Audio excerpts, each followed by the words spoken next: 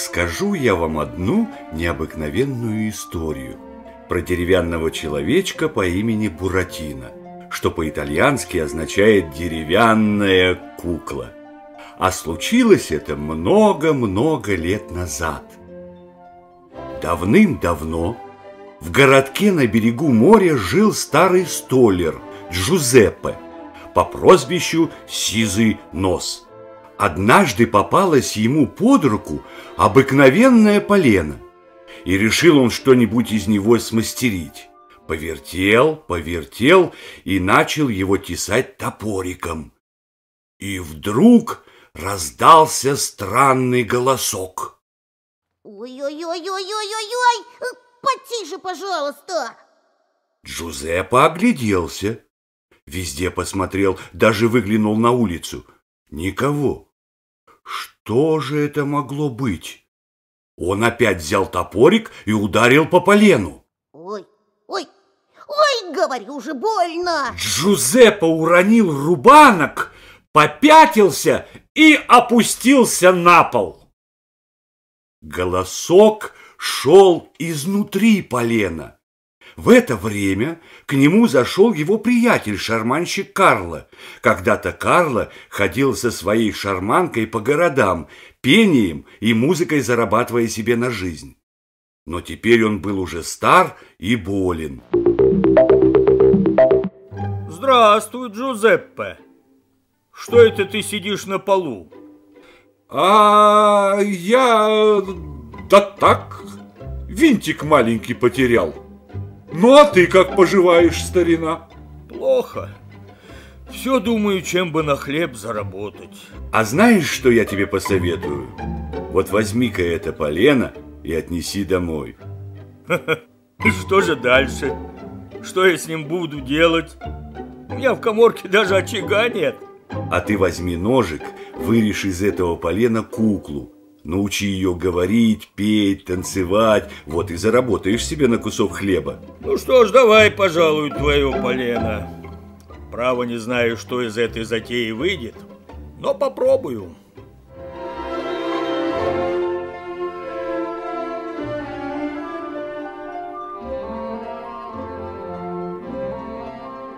Карло жил в коморке под лестницей – где ничего у него не было. Только на стене на старом холсте висел нарисованный красивый очаг с котелком, кипящим на огне. Взял Карло полено и начал ножом вырезать из него куклу. Как бы мне ее назвать? Она же будет деревянная.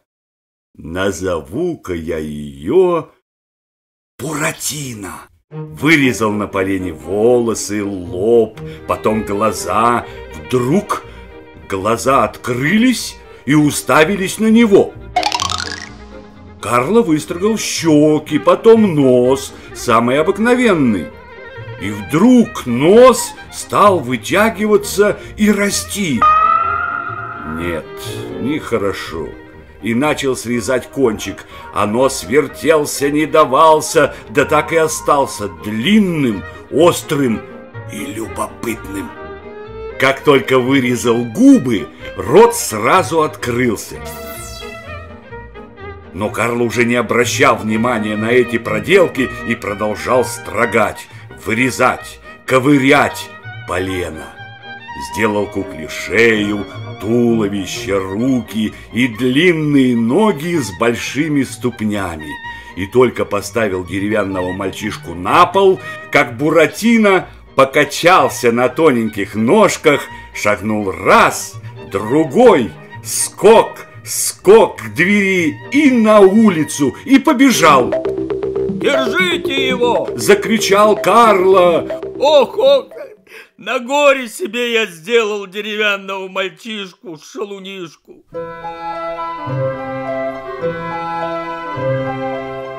Вот так и родился Буратино.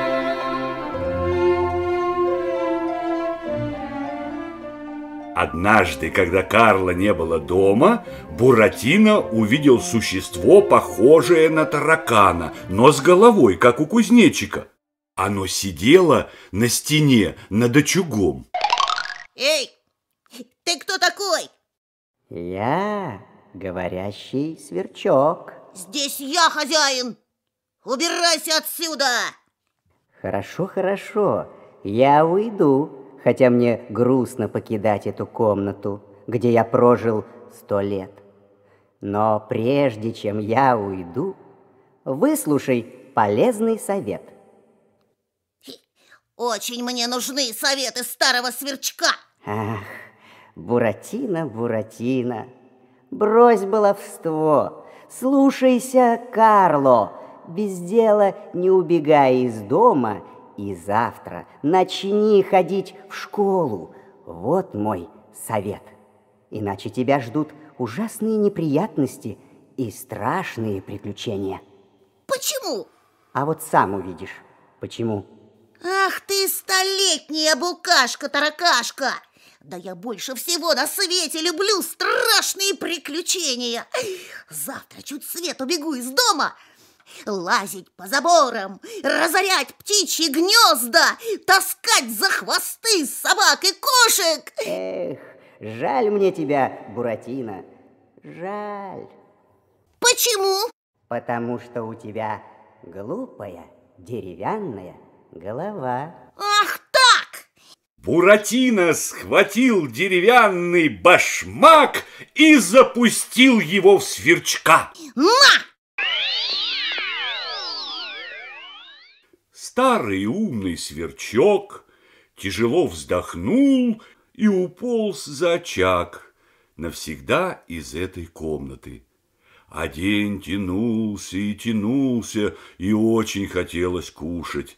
Буратино подбежал к очагу и сунул нос в кипящий на огне котелок и проткнул холст. Ведь очаг был нарисован. Буратино поглядел в дырку. За холстом на стене было что-то похожее на дверцу. Но еды там не было, и Буратино пошел шарить по всем углам. Из-под лестницы показалось какое-то серое существо на низких лапах. Оно, шаря по полу, подошло к Буратино, понюхало его и поползло мимо, таща за собой длинный хвост. И как же можно было удержаться и не схватить его? Вот Буратино и схватил этот хвост. А это оказалась старая злая крыса Шушара. Она набросилась на Буратино, схватила его за горло и поволокла под лестницу в подполье. Папа! Папа Карло! Ой, ой, Успел только пискнуть Буратино. Дверь распахнулась, и вошел папа Карло. Я здесь, малыш! Запустил в крысу деревянный башмак и освободил Буратино. ой. Вот видишь, до чего доводит баловство. Дай-ка я посмотрю, все ли цело. Я буду теперь умненький, благоразумненький, папа Карло. Говорящий сверчок велел мне ходить в школу. Славно придумано, малыш. Но ведь я голенький, деревянненький. Мальчишки засмеют меня в школе. Да, да, ты прав. Сейчас что-нибудь придумаем. Где-то у меня была цветная бумага, старые сапоги.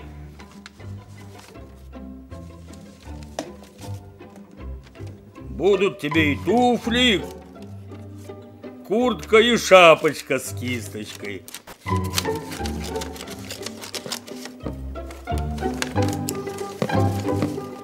А как же я пойду в школу без азбуки? Эге, да, ты прав, малыш. Подожди, подожди меня, я сейчас вернусь.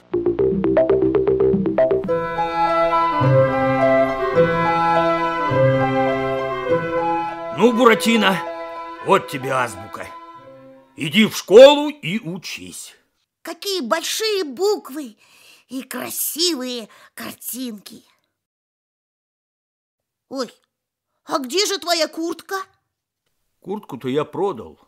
Но ничего, я обойдусь и так. Главное, чтобы тебе было хорошо. Папа Карло, вот я выучусь, вырасту и куплю тебе тысячу новых курток. Рано утром Буратино взял азбуку и побежал в школу. По дороге он старался не смотреть на разные сладости в лавках, на мальчишек, запускающих бумажных змей. Но чем ближе он подходил к школе, тем громче играла веселая музыка у моря, где стоял большой балаган, украшенный разноцветными флажками. Ну, если я только взгляну и послушаю немножко, ничего же не случится, и сразу э, бегом в школу. Решил Буратино и побежал к морю. А там уже стояла большая толпа, и все читали огромную афишу.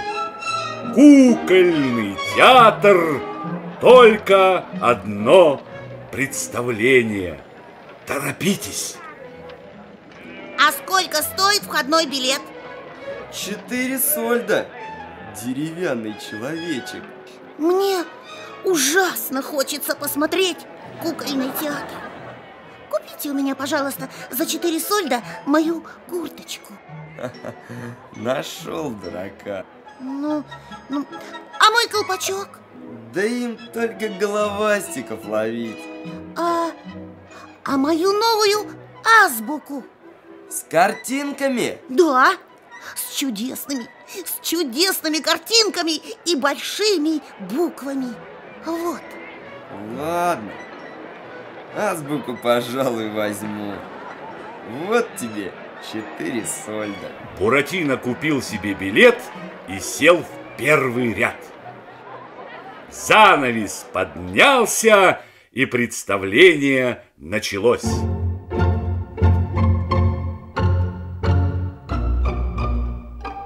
Из-за картонного дерева появился маленький человечек в длинной белой рубашке с лицом, обсыпанным белой пудрой. Здравствуйте, почтеннейшая публика. Меня зовут Пьеро. И сейчас мы разыграем комедию под названием «Девочка с голубыми волосами» или «33 подзатыльника». Меня будут колотить палкой, давать пощечины, подзатыльники. Это очень смешная комедия. Тут выскочил другой человечек, весь клетчатый, как шахматная доска. Здравствуйте, я Орликин. Ты чего хнычешь, дуралей? Я грустный, потому что я хочу жениться. А почему ты не женишься? Потому что моя невеста от меня убежала. Ха-ха-ха! Ты заслуживаешь, чтобы тебя поколотили. А как зовут твою невесту? А ты не будешь больше дразниться? Да я же только начал. Ее зовут Мальвина. Или девочка с голубыми волосами. Вот тебе еще три подзатыльника. Нет, вы только послушайте, почтеннейшая публика. Ну разве бывают девочки с голубыми волосами? Тут Орликин обернулся к публике и вдруг в первом ряду увидел деревянного мальчишку с длинным носом и ртом до ушей. Глядите, это же Буратино! Да-да, живой Буратино! Да это же Буратино! Буратино! На сцену из-за картонных деревьев выскочило множество кукол, и они все затараторили. Буратино, к нам, к нам, веселый плутишка! Буратино запрыгнул на сцену, все куклы бросились его обнимать, целовать.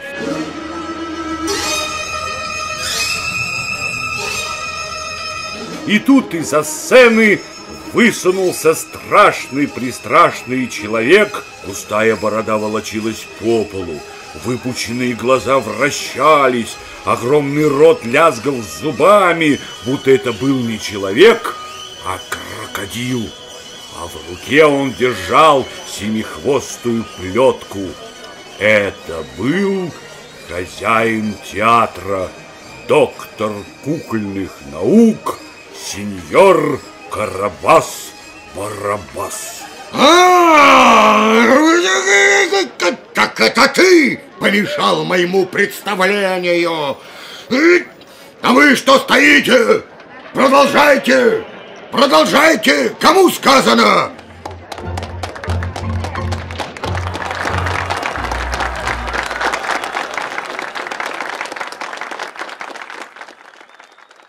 Тебя, деревянный мальчишка, я сейчас проучу. Ты как раз сделан из сухого полена.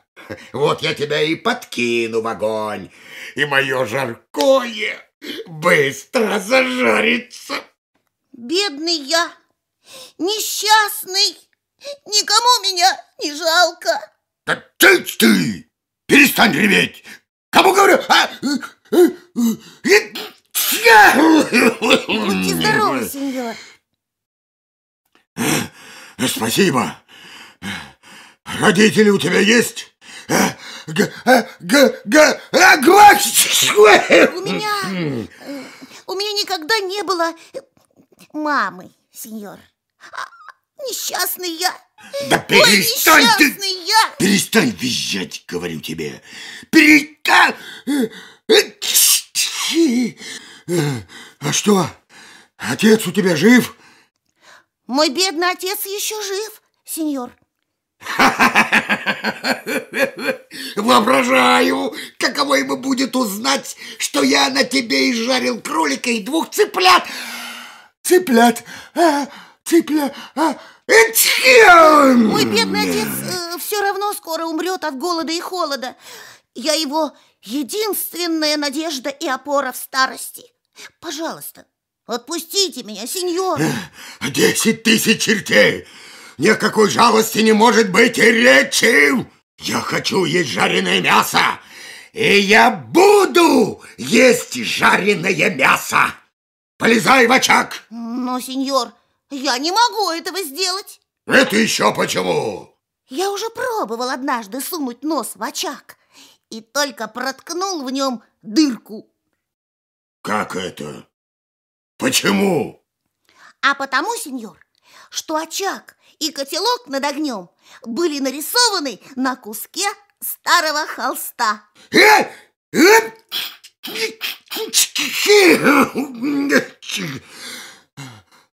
И где же ты видел такой очаг? Отвечай! В коморке моего папы Карло. Твой отец Карла? Так, так значит, это в коморке старого Карла находится потайная дверь. Так, так, так, так. Ну, хорошо.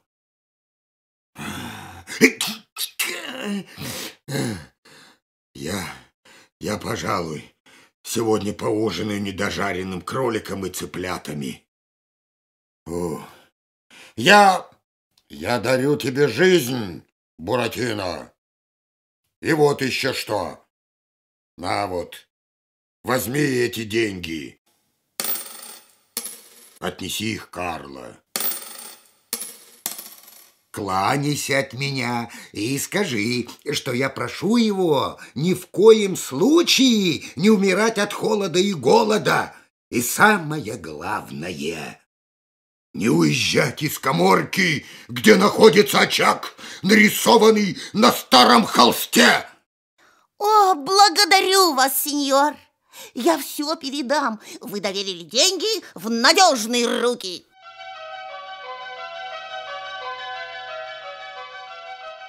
Буратино пересчитал деньги. Золотых монеток было столько, сколько пальцев на руке. Пять. И побежал домой. Но тут на пыльной дороге он повстречал уныло бредущих лесу Алису, ковыляющую на трех лапах, и слепого кота Базилио. Здравствуй, добренький Буратино. Чудненький Буратино. Куда это ты так спешишь? Домой, к папе Карло. Уж и не знаю, застанешь ли ты в живых бедненького Карла. Он совсем плох от голода и холода. А ты это видела? Ау! Добренький, хорошенький Буратино. И что же ты будешь делать с этими деньгами? Куплю куртку для папы Карло и новую азбуку. Азбуку! Через это проклятое учение я глаз лишился, совсем ослеп. Вот и я училась, училась, а смотри, хожу на трех лапах. Нет, не доведет тебя до добра это учение. Умненький, благоразумненький Буратино. А ты хочешь, чтобы денег у тебя стало в десять раз больше? Конечно, хочу. А, а как это сделать? Да проще простого. Пойдем с нами. Куда? В страну дураков. И твои пять золотых превратятся в кучу денег. Много, много денег! Да ну, врешь. Не вру, я тебе сейчас все объясню. В стране дураков есть волшебное поле, называется поле чудес. На этом поле выкопай ямку, скажи три раза «крекс, фекс, пекс», положи в ямку золотой, засыпь землей, сверху посыпь солью, хорошенечко полей и иди спать. А на утро из ямки вырастет небольшое деревце, и на нем вместо листьев будут висеть золотые монеты. Много, много денег! Понятно? Врешь. Хм, пойдем, Базилио. Нам не верят. Нам не верят! Ну и не надо. Э, Нет-нет, э, верю, верю. Идемте, идемте скорее в страну дураков.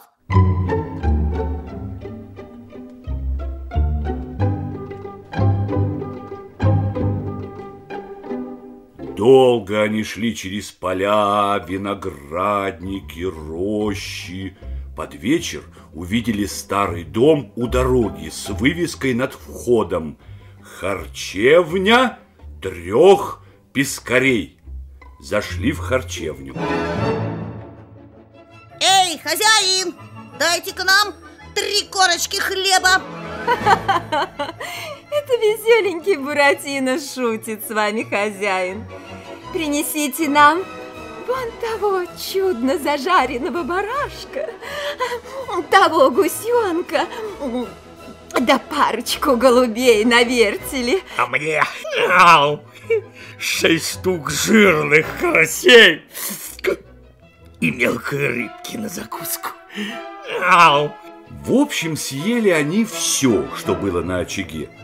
У лисы и кота животы раздулись, морды залоснились, и завалились они спать на мягких постелях. А у Буратино осталась лишь корочка хлеба, да собачья подстилка в углу.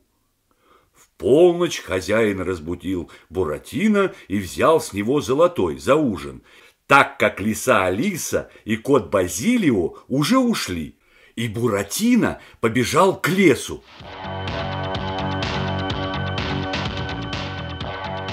Но кто-то бежал вслед за ним. Его догоняли двое. На головах мешки с прорезями для глаз. «Стой! Стой! Ай! Ай!»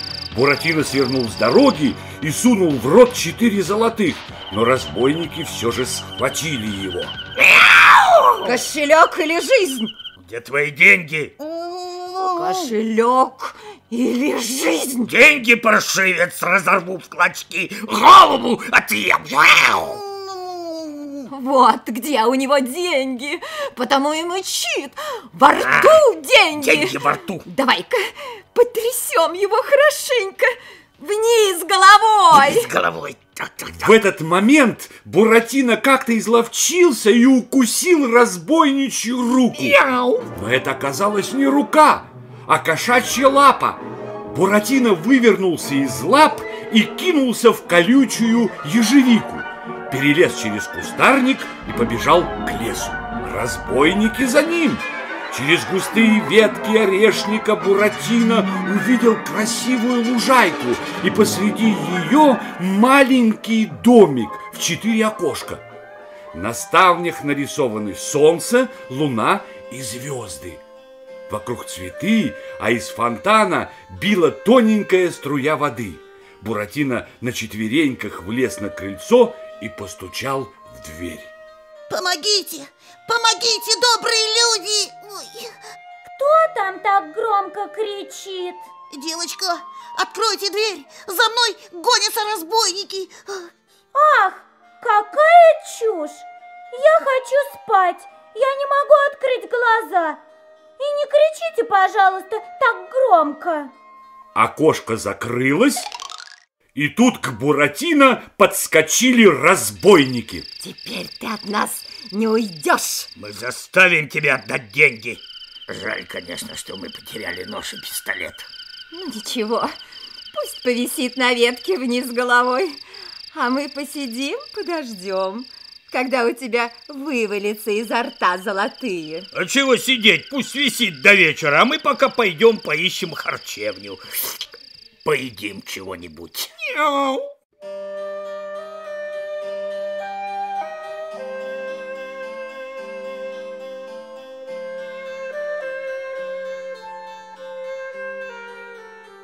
Девочка с кудрявыми голубыми волосами широко открыла заспанные глазки. Эта девочка была самой красивой куклой из всего кукольного театра сеньора Карабаса-Барабаса. Не в силах выносить грубых и жестоких выходов хозяина, она убежала из театра и поселилась в уединенном домике на поляне. Открыв глаза и посмотрев в окошко, девочка тотчас увидела Буратино, висящего на ветке вниз головой.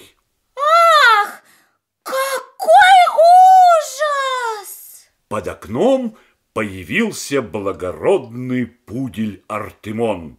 Кудрявая шерсть была аккуратно расчесана, кисточка на конце хвоста была перевязана черным бантиком, на передней лапе красивые серебряные часы. Артемон, позови кого-нибудь.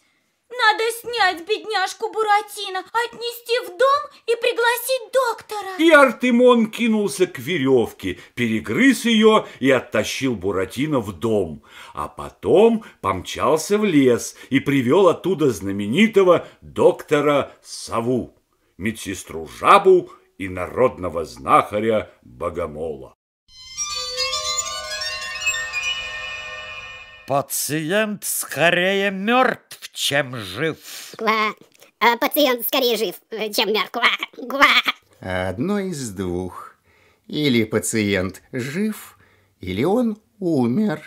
Если он жив, он останется жив. Если он мертв, его можно оживить или нельзя оживить. Шарлатанство. Невежество. Ну как же мне его лечить? Касторкой. Квасторкой. Ква. Ква. Не надо! Не надо касторки! Я очень хорошо себя чувствую. Буратино, умоляю тебя, зажмурься, зажми нос и выпей. Не хочу, не хочу, не хочу. Я тебе дам кусочек сахару, если будешь меня слушаться. Ну, открой рот. Раз, два, три. Вот и все.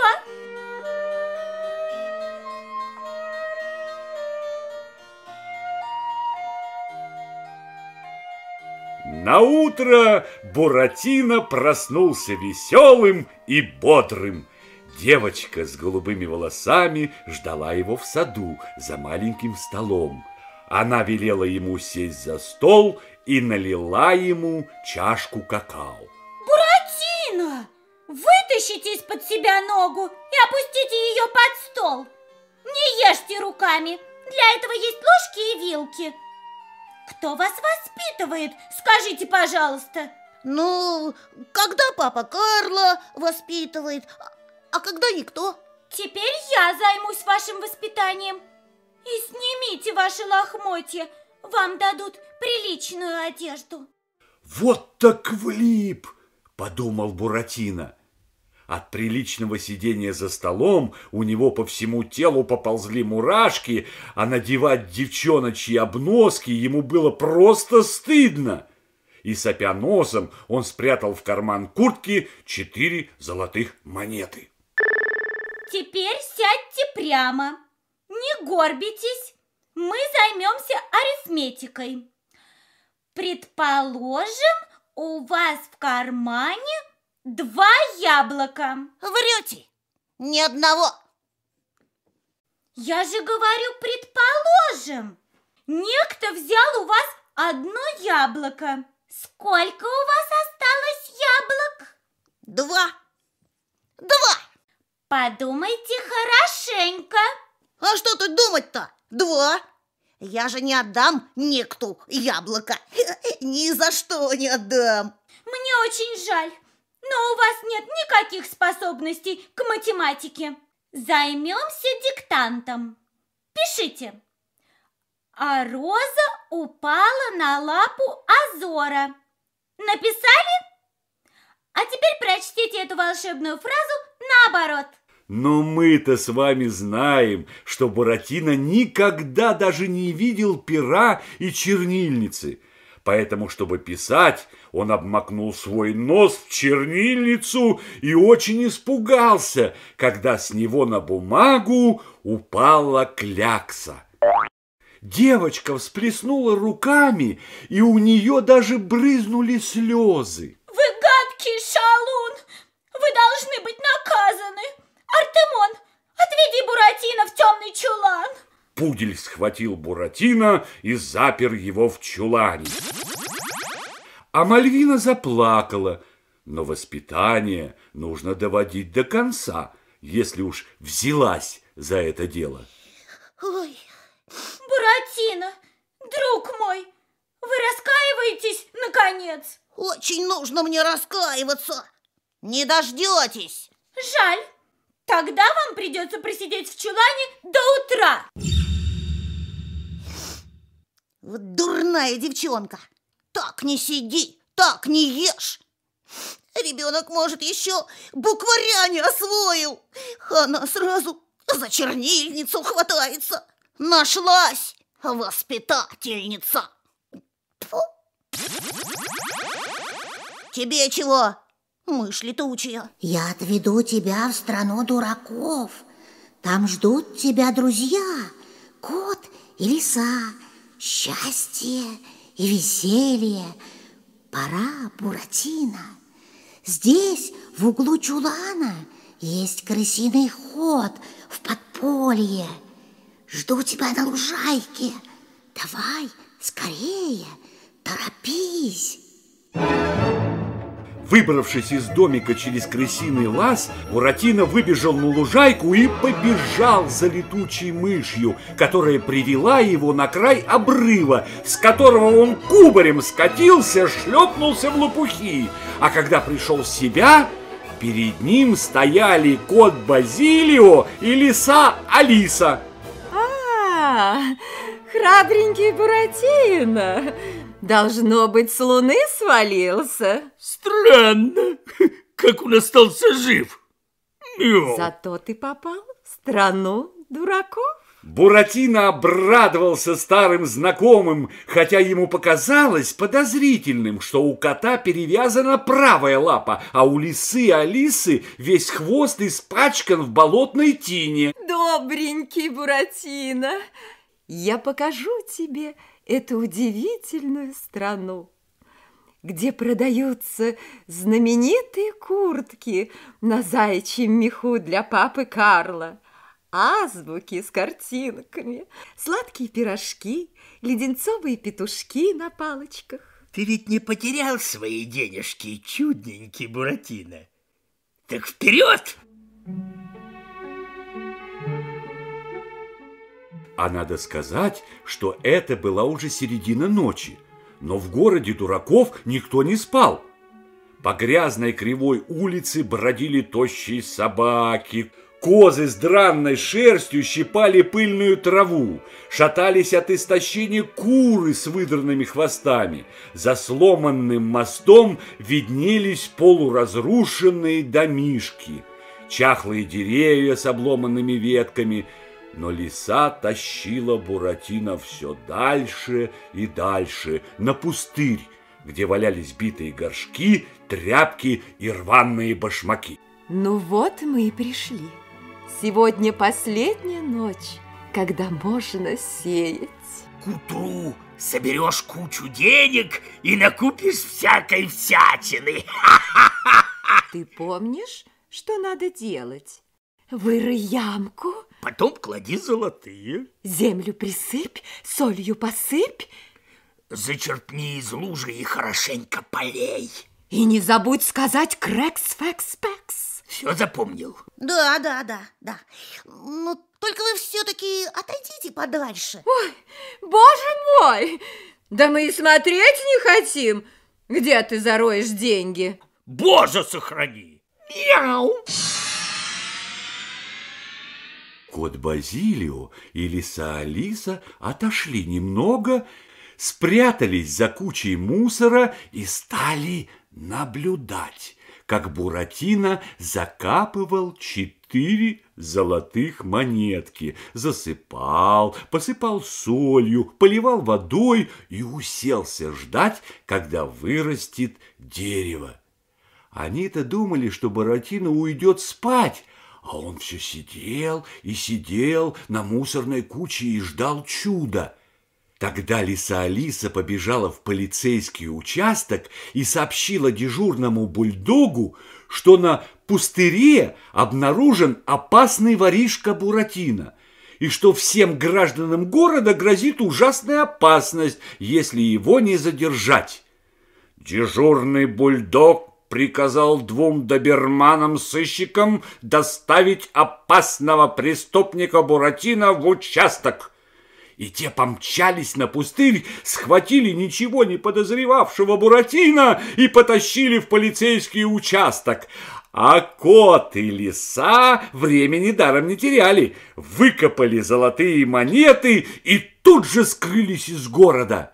А дежурный бульдог Обыскав Буратино и ничего не обнаружив, кроме кусочка сахара, кровожадно засопел на Буратино и обвинил его в трех преступлениях. Первое, что он беспризорник. Второе, беспаспортный. И третье, безработный. И напрасно Буратино пытался рассказать про папу Карла, про свои приключения – Сыщики схватили его, оттащили за город и с моста бросили в глубокий грязный пруд, полный пиявок и лягушек.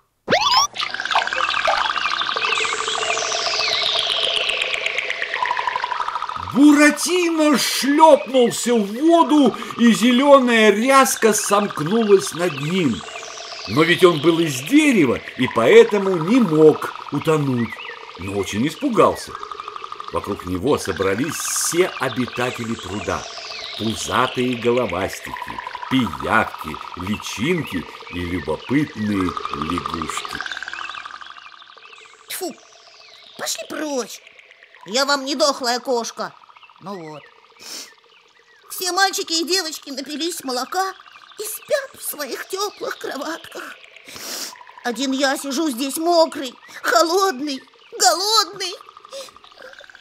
Зеленая ряска на поверхности пруда заколебалась, и появилась большая змеиная голова.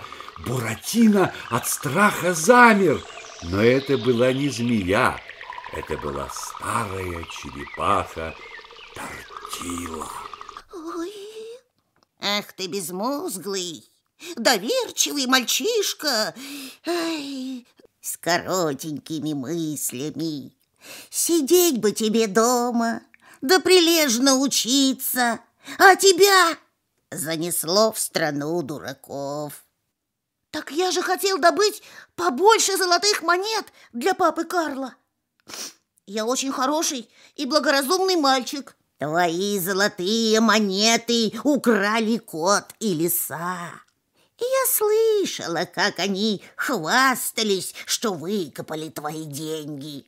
И даже подрались из-за них. Эх ты, дурачок! Ну не надо, не надо ругаться. Тут человеку помочь надо. Что я теперь буду делать? Ой, как я вернусь к папе Карла? Ой, помоги мне, Тортила, пожалуйста. Вот-вот. Однажды я уже помогла одному человеку, а он потом из моей бабушки и дедушки наделал черепаховых гребенок. Что ж, посиди тут на листьях, а я поползаю по дну и, может быть, добуду одну полезную вещицу. Тортила втянула змеиную голову и опустилась на дно. Прошло много времени, прежде чем она снова появилась, держа во рту маленький золотой ключик. Возьми этот ключик, Буратино. Я даю его тебе. Его обронил на дно пруда человек с огромной бородой. Ой, он так просил, чтобы я отыскала ключик на дне, но я тогда была очень сердита на людей. А бородатый человек много рассказывал про этот ключик, но я все забыла. Помню только, что им надо отворить какую-то дверь, и это принесет счастье. У Буратино сразу же забилось сердце, загорелись глаза. Вот она настоящая тайна. Он сразу забыл про все свои несчастья, поблагодарил черепаху, взял ключик и поплыл к берегу. Но никто не указал ему дорогу из страны дураков. И Буратино бежал, куда глаза глядят. Он бежал так быстро, что звезды теперь как бешеные неслись за черными ветками. Бежал так долго, пока не задел ветку, и ему под ноги не свалился маленький человечек в белой рубашке с длинными рукавами. Буратино схватил его за щеки, белые, как зубной порошок, и расцеловал. Перо! Как ты сюда попал? Так это ты скакал верхом на сером зайце и свалился мне под ноги. Буратино, спрячь меня поскорее. Эти собаки гонятся за мной. Зачем? Сеньор Карабас-Барабас преследует меня. Он нанял в городе полицейских собак, и они меня ищут. Почему? Потому что я узнал тайну золотого ключика. Что? Совершенно случайно. Я в этом не виноват. Так быстрее, быстрее же рассказывай. Я знаю, где ключик лежит, как его достать, и что им нужно открыть одну дверцу.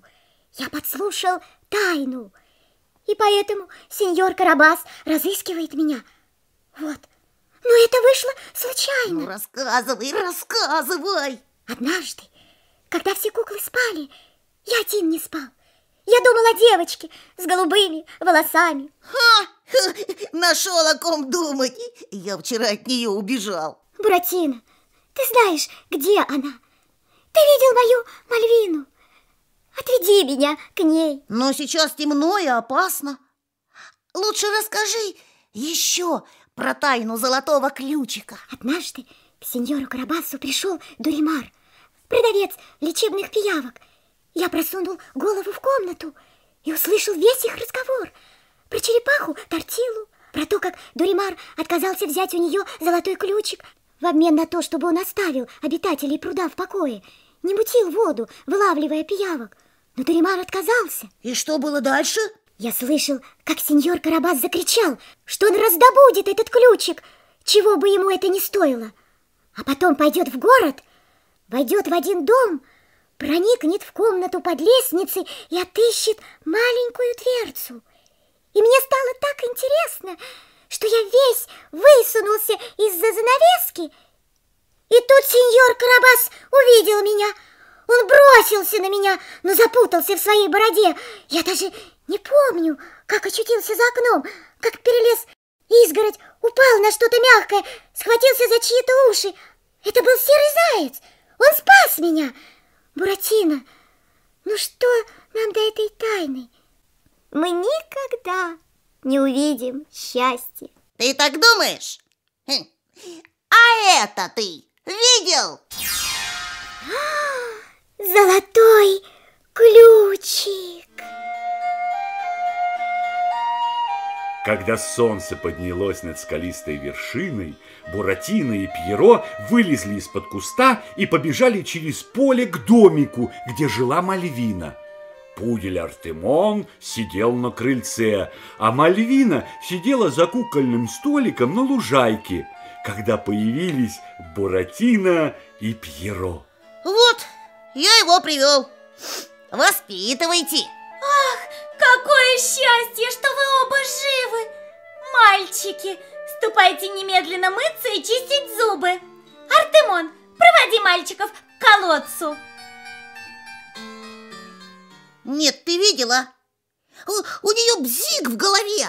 Мыться, чистить зубы, Ой, кого угодно со свету живет своей чистотой. Все же они помылись, позавтракали, и Пьеро даже прочитал ей свои стихи. Но тут на песчаной дорожке появилась жаба и сообщила, что старая, выжившая из ума Тортила рассказала Карабасу-Барабасу все про золотой ключик и что он с полицейскими собаками будет через четверть часа. Надо было бежать. Мальвина побежала переодеваться, а Артемон притащил узлы с домашними вещами. Пьеро отчаянно заламывал руки, и только Буратино не растерялся. Он отдавал команды. Но когда они вышли из густой травы на гладкое поле, из леса высунулась склоченная борода Карабаса-Барабаса. Ага! Ха-ха! Вот они! Ну, держитесь! И увидев беглецов, он спустил на них полицейских собак. Первым опомнился Буратино. Геро, бери Мальвину и бегите к Лебединому озеру. Артемон, скидывай тюки, снимай часы, будешь драться с псами. На помощь! Птицы, насекомые, наших бьют! Спасайте ни в чем не виноватых деревянных человечков! На помощь! И все звери, птицы, даже насекомые набросились на Карабаса-Барабаса и его собак. Их кусали жуки и жужелицы, клевали птицы, мухи и бабочки застилали свет, ежи кололи своими иголками. Визг и вой стоял по всему полю. Буратино забрался на сломанный ствол сосны и повис на суку, дразня Карабаса-Барабаса. Дяденька, дяденька, дяденька, не догонишь, не догонишь, не догонишь, не догонишь. Потом спрыгнул на землю и начал бегать вокруг сосны. А Карабас-Барабас пытался догнать Буратино, и борода обматывалась вокруг дерева, плотно приклеиваясь к смоле. Когда борода кончилась, Карабас-Барабас уперся носом в дерево. А Буратино показал ему длинный язык и побежал к Лебединому озеру искать Мальвину и Пьеро. За ним на трех лапах ковылял потрепанный Артемон, а на поле остались лежать два полицейских пса и покусанный, приклеенный к дереву доктор кукольных наук сеньор Карабас-Барабас. Благородному пуделю Артемону перевязали лапу и поставили градусник. Буратино принес воды, набрал веток, развел у входа в пещеру костер и сварил какао. Мальвина заставила мальчиков помыть руки, почистить зубы и только тогда разрешила сесть завтракать. Посовещавшись, все трое решили пока остаться в пещере. Артемон должен был поправиться, ну не оставлять же его одного. Спасаться так вместе. Но Буратино не оставляла мысль, что он так и не узнал секрета Карабаса-Барабаса и золотого ключика. И он решил во что бы то ни стало узнать эту тайну.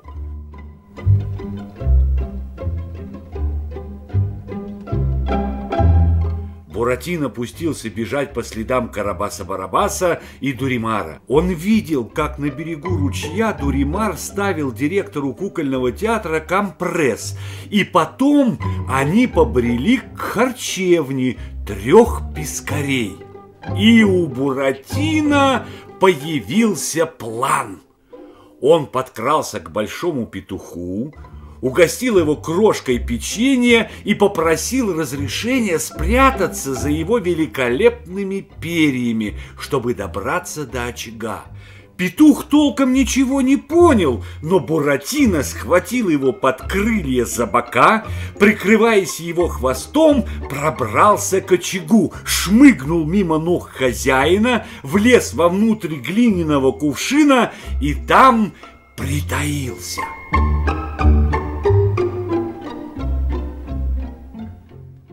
Карабас-Барабас и Дуримар как раз подкреплялись жареным поросеночком.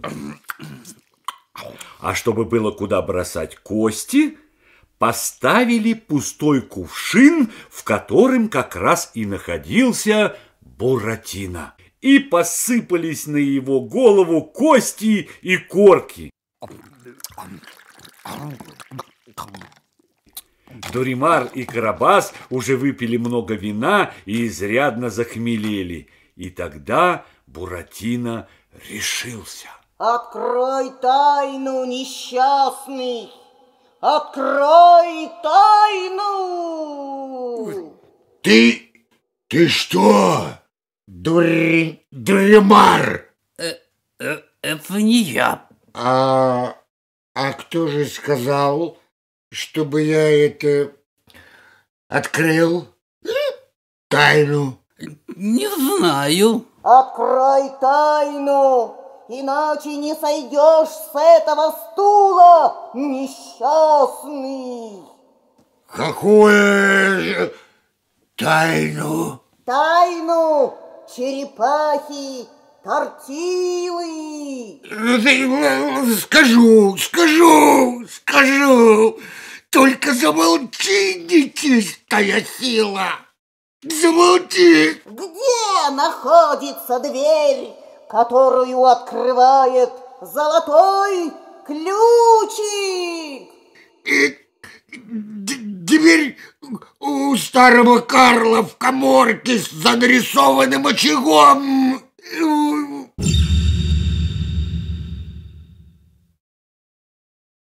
Дверь в харчевню отворилась, и хозяин представил Карабасу-Барабасу двух вошедших – Лису Алису и кота Базилио.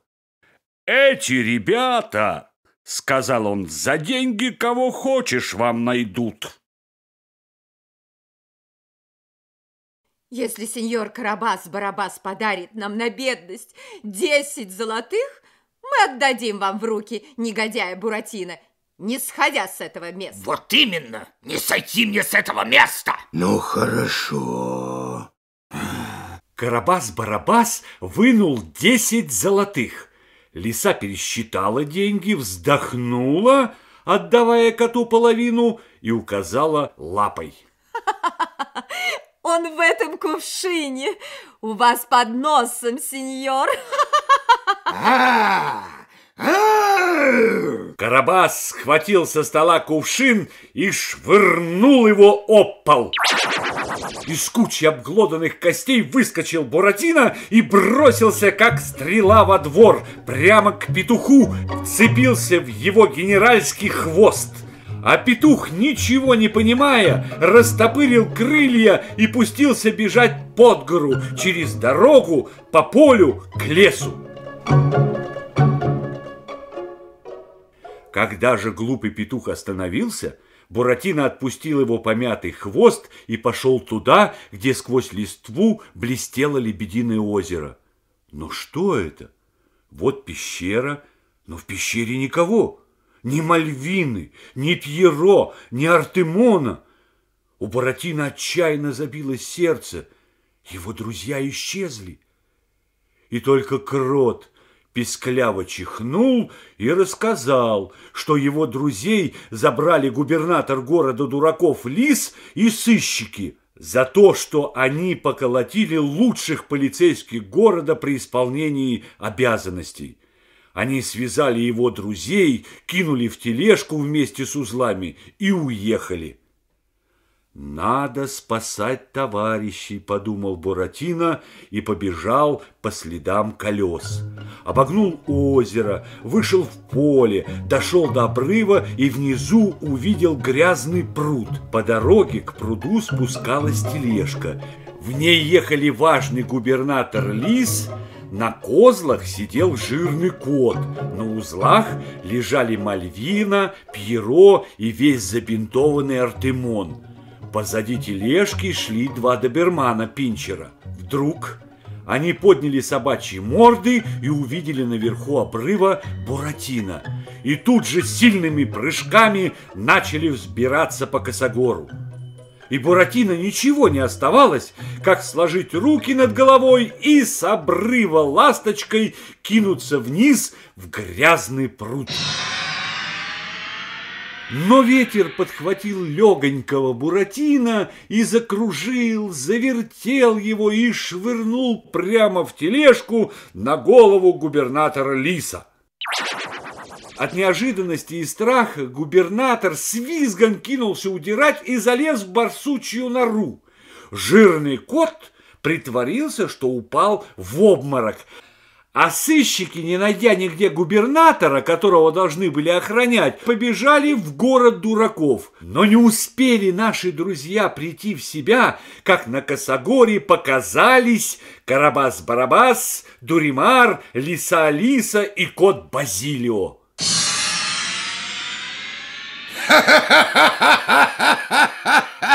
Сам золотой ключик идет мне в руки. Буратино торопливо придумывал, как же выпутаться из этой новой беды. Но на этот раз не было никакой надежды. Идите, идите ко мне, деточки.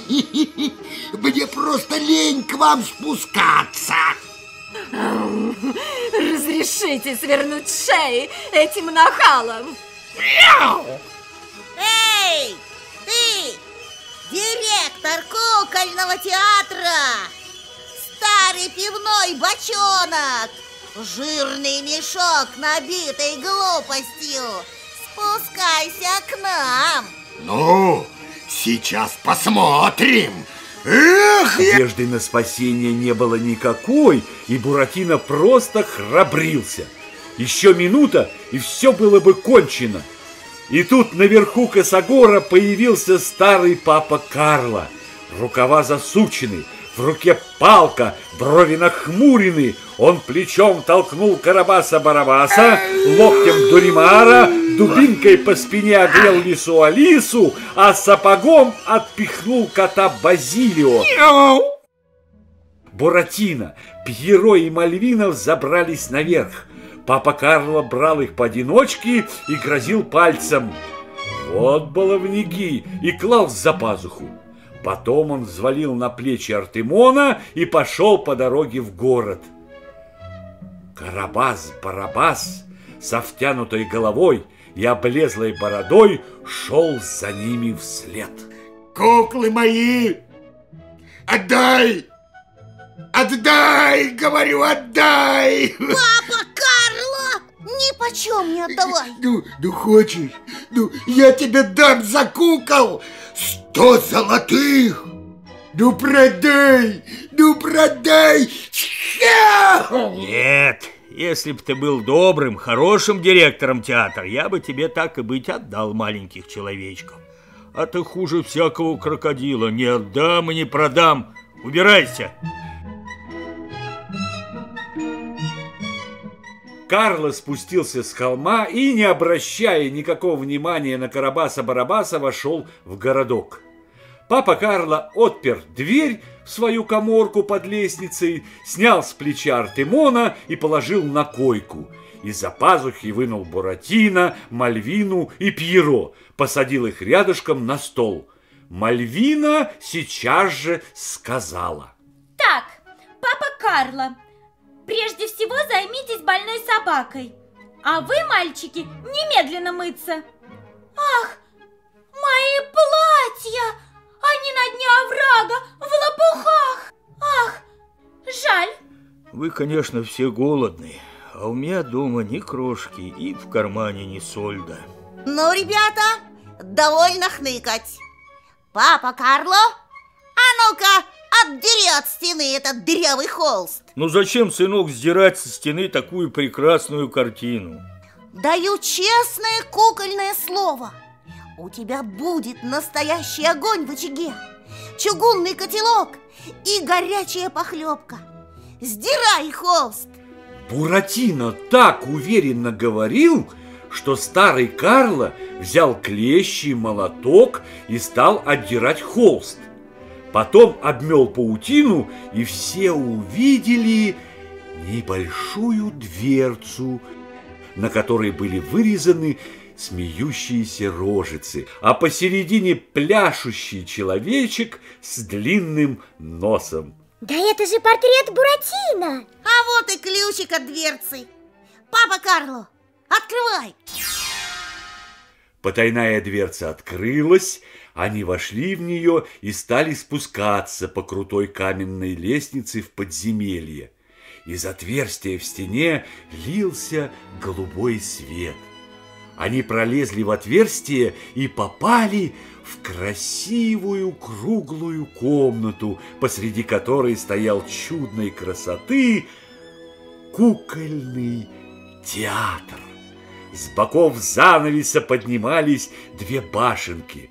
В одну из них были вделаны часы, а сбоку висел ключик. Папа Карло взял его и завел часы. На правой башенке открылись два окошка из разноцветных стеколок и поднялся занавес. Такой красоты никто, даже папа Карло, никогда не видывал.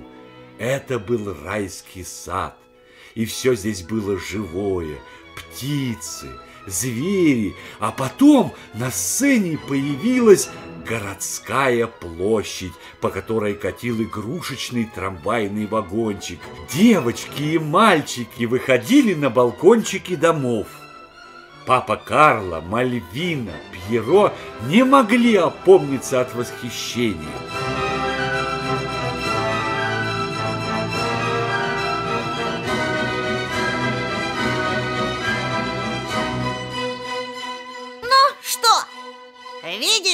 Значит, недаром я мокнул в болоте у тетки Тортилы. В этом театре мы поставим комедию «Золотой ключик» или «Необыкновенные приключения Буратино и его друзей».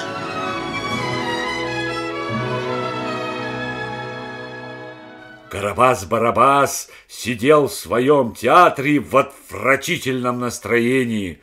С утра не было продано ни одного билета в театр. Часы пробили шесть, но в зрительном зале было пусто, а все куклы удрали. А напротив его театра, перед большой новой полотняной палаткой, стояла толпа. У входа в стеклянные будочки сидела Мальвина и продавала билеты. Папа Карло в новой бархатной курточке вертел шарманку и весело подмигивал публике. Артемон тащил из палатки лису Алису, которая прошла без билета. Кот Базилио тоже был без билета, успел удрать и теперь сидел на дереве под дождем. А на входе в палатку на помосте стоял длинноносый человечек в колпаке и выкрикивал. Первое представление занимательной, увлекательной комедии из жизни деревянных человечков. Истинное происшествие о том, как мы победили всех своих врагов при помощи остроумия, смелости и присутствия духа. Представление начинается!